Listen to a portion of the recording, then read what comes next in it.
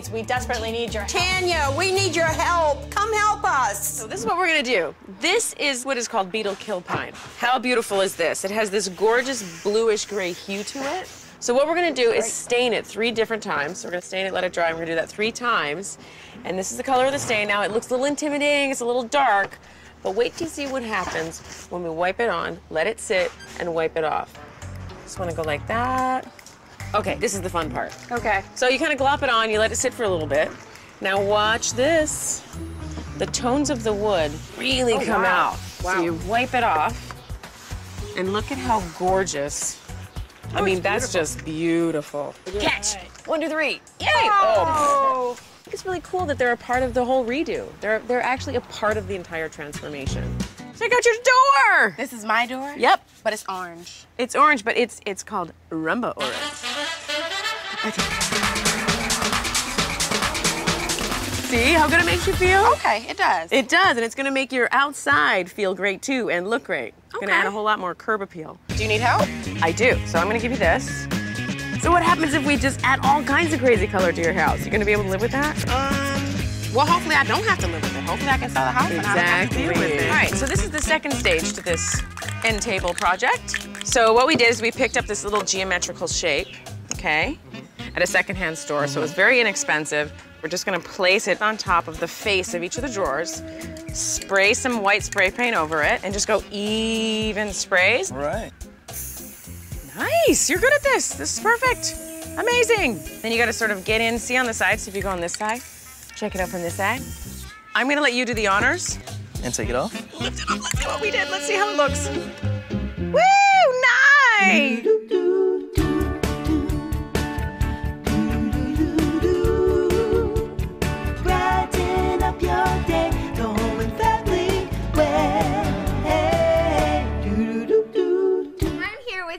Tanya Memme. She is the host of Sell This House Extreme on A&E. Yep. And she's going to be here with us today. I really do have still have tortilla. I'm spitting tortilla as I speak. Um, That's okay.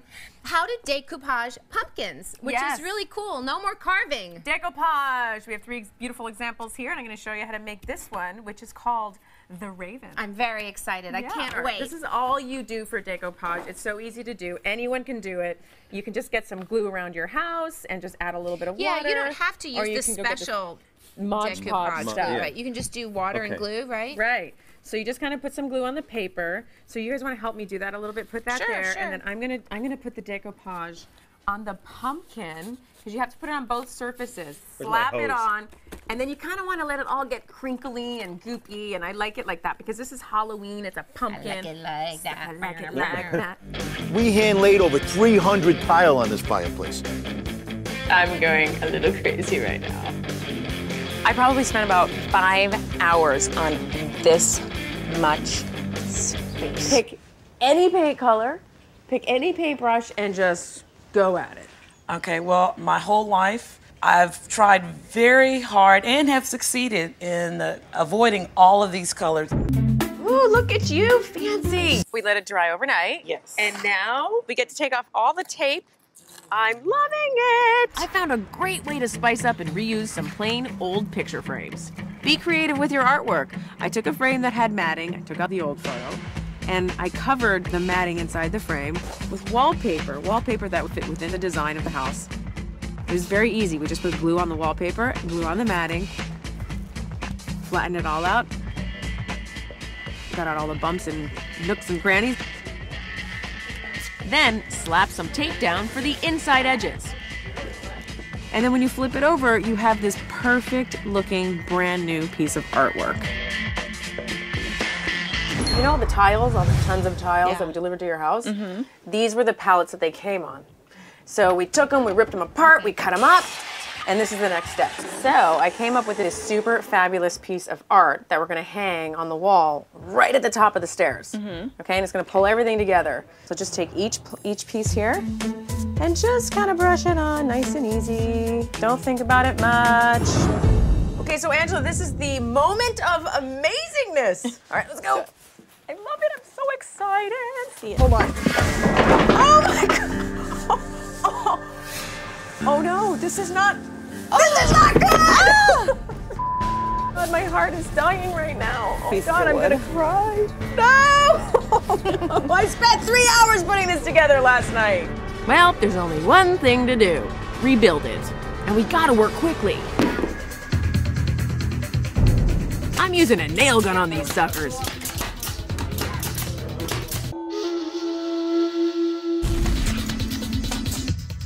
One, two, three. Three. Oh! Any Oh, you casualties? nailed Any it to the casualties? We did it! Woo! Victory! High five. I might have nailed it to the board that I was um, leaning on, but that's okay. We, We can work fix with that. that. We can fix that. This is Tanya. Love She's it. showing off a pumpkin orange with a floral motif, button front cardigan sweater. I like it. I think she may have actually damaged a vertebrae on that last. We're gonna turn these old sweaters that Daniel found into pillow covers for the living room sofa. So the first thing we're gonna do is I mapped out with chalk exactly where I want to cut it. I like to keep on this bottom ribbing just so that you can kind of tell it was a sweater. Mm-hmm. It looks so cute that way, right? While Angela and I have been working on the pillows, Danny's been finishing up our tile art project. Like it. We're here with uh, our DIY expert Tanya Memme, who says you can do this much cheaper. Yes. Um, and um, you're going to show this, show us the process of how to do this painting. Now, You actually can with fabric or upholstery paint. That's the cool thing. I have a photo here that I wanted to share with you. That uh, that was my inspiration. So it's not exactly Oh. the same. It doesn't need to be exactly the same. no. Let's just start pulling out the tape. Let's do the big reveal. Let's Here we reveal go. it. Here you go, Mark. What do you think? Okay, let's just pull. Look at that. Look oh, at it.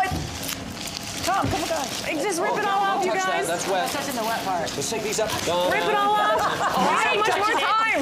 I'm impressed with myself. Are you impressed with yourself? I am. I'm very impressed. Yeah, I get it all.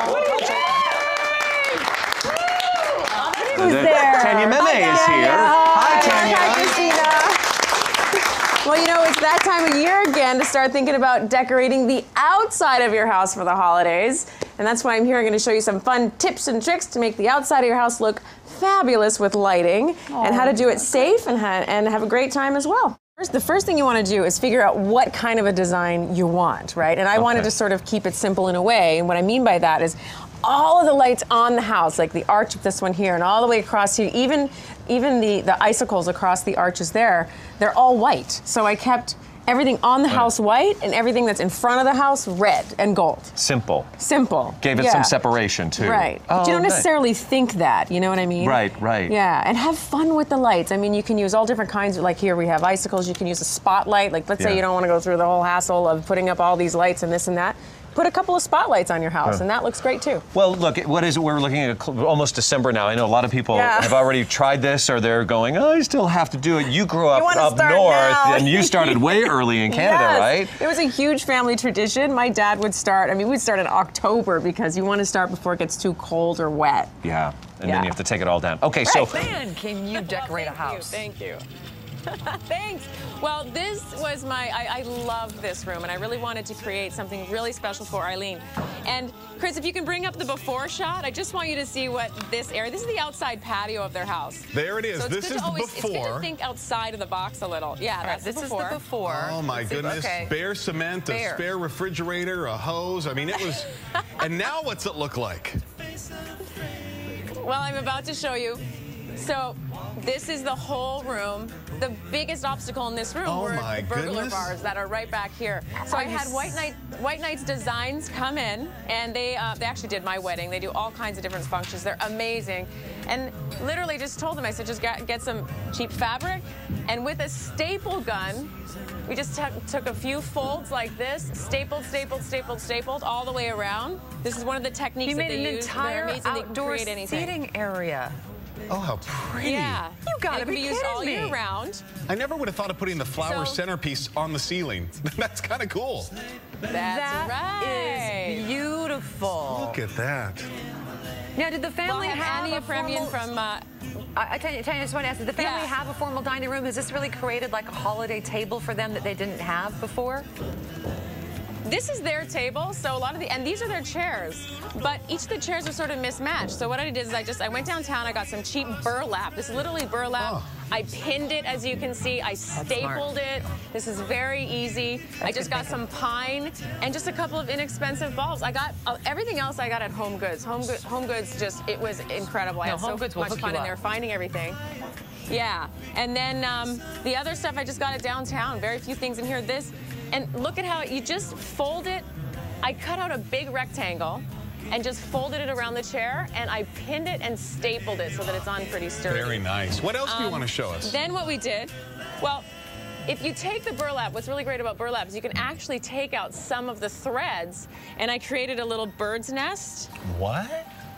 and put a little yeah these are little these are little um, ornaments i also got this at at uh, home goods. Everything on the table from home goods. Oh she's, did anybody see that or was it just me? Oh my god. Ew. It's spooky down there. So Tanya, is it going to this one or is it going? We have acres of this stuff to put up.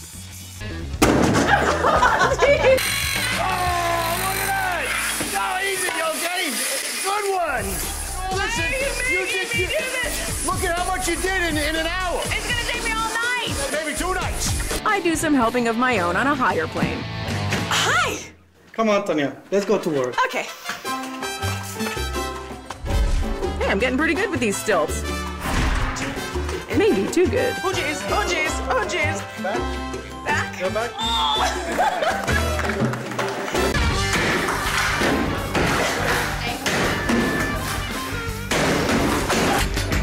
Two. Look at it.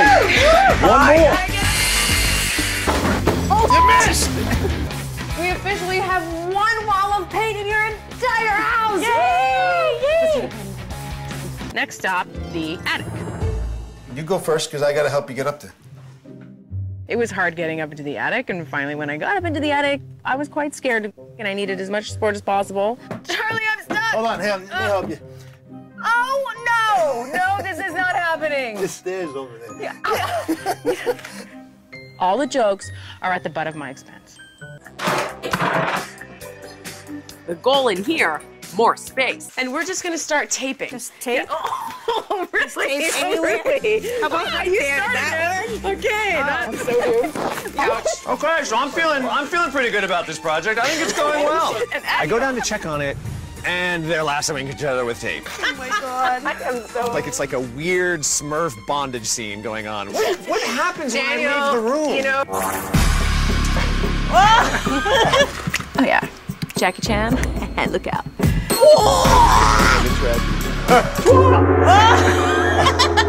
it's kind of good though, because I'm kind of scared. You. Well, I didn't actually go all the way through the cactus, but I tried.